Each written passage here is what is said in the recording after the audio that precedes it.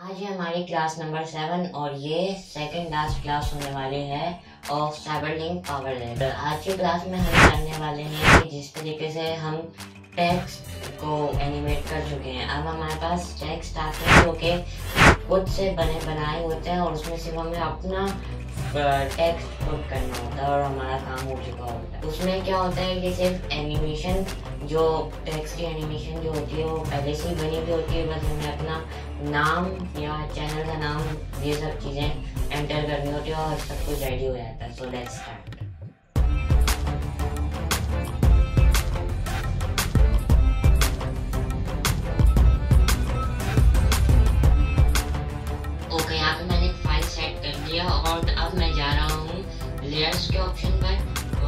और के ऑप्शन पर जाने के बाद यहाँ पे आपको ढेर सारे टेक्स्ट मिल जाते हैं। और अभी तो मैं सिर्फ़ ये वाले टेक्स्ट यूज़ कर रहा हूँ क्योंकि इनको समझना ज़्यादा इजी है। सब कुछ सेम मेथड है। कोई इतनी बड़ी साइंस नहीं लगने वाली इसमें, क्योंकि सब कुछ आपको बना बनाया मिलेगा। सिर्फ़ आपको अपना चैनल का नाम या फिर जिस, जो भी नाम पुट करना है आपको वो करना पड़ेगा।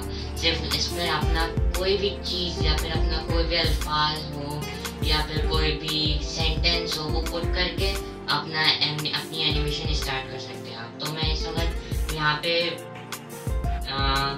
रेनबो ले रहा हूँ और ये मेरे पास नीचे आ भी गया।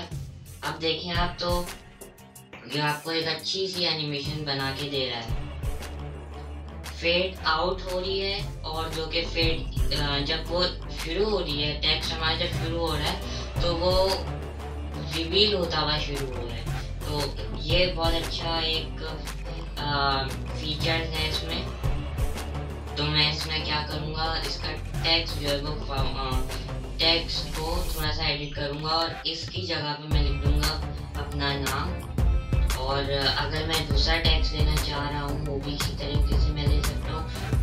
फॉर एग्ज़ाम्पल ये कलर न्यू जो है ये मैं ले लेता हूँ, इसी तरीके से आप बाकी सारे टैक्स भी ले सकते हैं। ये मेरा जो नाम मैंने अभी लिखा वो गई और ये भी एक एनिमेशन है, जो कि बस ये अलग अलग कलर की है।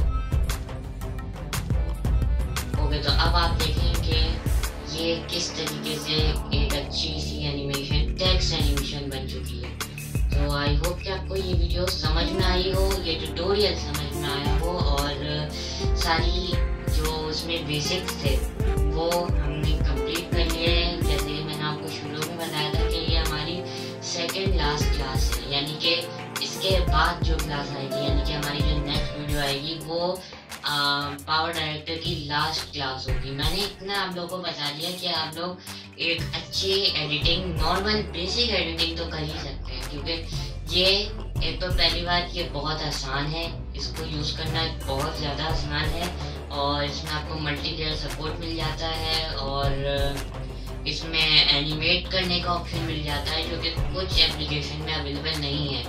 काइन मास्टर में अवेलेबल है, लेकिन काइन मास्टर इतना सूटेबल नहीं है, क्योंकि उसमें सिर्फ़ जो मसला है, अगर आपकी डिवाइस स्लो है तो वो एक्सपोर्ट नहीं करेगा। कुछ ना कुछ एरर आ जाएगा और उसमें अनलिमिटेड लेयर्स तो सपोर्ट करती है, लेकिन उन डिवाइसेस के लिए जो उसको बेयर कर सके। लेकिन जो डिवाइसेस छोटी होती हैं, जैसे कि एक जी बी रैम या दो जी बी रैम वो थोड़ा सा मसला करती हैं क्योंकि उसमें वो थोड़ा सा हैवी हो जाता है और उसके इफेक्ट्स और उसके फिल्टर्स बहुत ज़्यादा हैवी हैं तो इसीलिए कुछ हो जाता है।